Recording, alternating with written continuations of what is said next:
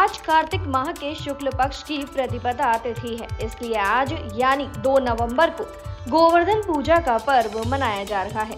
गोवर्धन पूजा को अन्नकूट के नाम से भी जाना जाता है।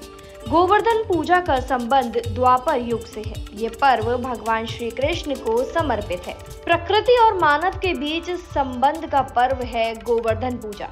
गोवर्धन पूजा विशेष रूप से मथुरा, वृंदावन, गोकुल और बरसाने में मनाई जाती है। गोवर्धन पूजा का पर्व दिवाली के दूसरे दिन मनाया जाता है। लेकिन इस बार अमावस्या तिथि दो दिन होने की वजह से गोवर्धन पूजा दो नवंबर को है। गोवर्धन पूजा के मौके पर घरों में अन्नकूट का भोग लगाया जाता है। गोवर्धन पूजा विधि। इस दिन भगवान श्री कृष्ण के स्वरूप गोवर्धन पर्वत और गाय की पूजा का विशेष महत्व होता है। पंचांग के अनुसार, इस बार कार्तिक मास के शुक्ल पक्ष की प्रतिपदा तिथि की शुरुआत 1 नवंबर को शाम छह बजकर सोलह मिनट पर हो जाएगी। और तिथि का समापन 2 नवंबर को, रात आठ बजकर इक्कीस मिनट पर होगा।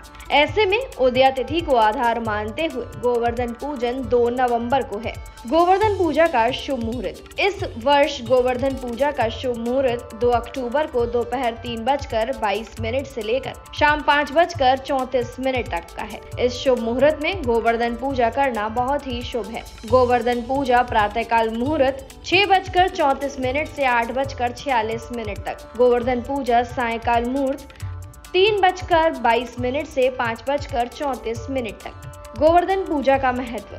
धार्मिक मान्यताओं के अनुसार हर वर्ष कार्तिक माह के शुक्ल पक्ष की प्रतिपदा तिथि पर गोवर्धन की पूजा करने से आर्थिक समस्याएँ दूर होती हैं और इसके अलावा धन, धान्य, संतान और सौभाग्य की प्राप्ति होती है। इस दिन जो भी भक्त भगवान गिरिराज की पूजा करता है उसके घर में सुख समृद्धि बनी रहती है और गिरिराज महाराज, जो भगवान श्री कृष्ण का ही स्वरूप है, उनका आशीर्वाद पूरे परिवार पर बना रहता है गोवर्धन पूजा पर गाय, भगवान कृष्ण और गोवर्धन पर्वत की पूजा का विशेष महत्व होता है गोवर्धन पूजा करने के लिए आप सबसे पहले घर के आँगन में गाय के गोबर से गोवर्धन की आकृति बनाएँ। इसके बाद रोली, चावल, खीर, बताशे, जल, दूध, पान, केसर, फूल और दीपक जलाकर गोवर्धन भगवान की पूजा करें। इसके बाद अपने परिवार सहित श्री कृष्ण स्वरूप गोवर्धन की सात प्रदक्षिणा करें। मान्यता है कि इस दिन विधि विधान से और सच्चे दिल से गोवर्धन भगवान की पूजा करने से एवं गायों को गुड़ और चावल खिलाने से भगवान श्री कृष्ण की कृपा बनी रहती है। गोवर्धन पूजा को अन्नकूट त्योहार के नाम से भी जाना जाता है। इस दिन भगवान श्री कृष्ण को कई तरह के अन्न फल और सब्जियों से बने पकवान का भोग लगाया जाता है। अन्नकूट का भोग बनाने के लिए कई तरह की सब्ज़ियाँ, दूध और मावे से बने मिष्ठान और चावल का प्रयोग किया जाता है। फ़िलहाल इस जानकारी में इतना ही। तमाम ऐसी खबरों के लिए आप सब्सक्राइब करें news state Bihar Jharkhand. News nation अब व्हाट्सएप पर।